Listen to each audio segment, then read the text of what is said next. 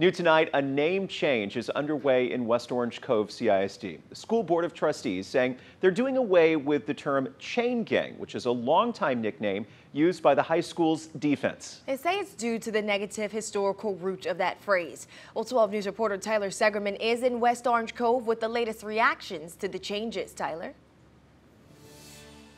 Yeah, Jay, change is coming for students and staff here next year. This morning, the West Orange Cove Consolidated Independent School District made two significant announcements as a result of the Black Lives Matter movement. In a statement posted on a Facebook, the district will now offer an African American Studies course starting this fall.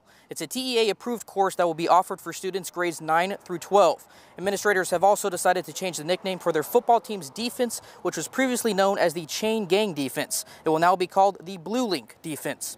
These changes reflect the social unrest that is taking place across the country, according to the district, who say they stand firm with Black Lives Matter. In the statement they released earlier today by Superintendent Dr. Rickie Harris, he says, quote, We desire to exhibit appropriate leadership and to guide to our students on the path of political and social awareness by demonstrating sensitivity while maintaining a safe and protective educational environment.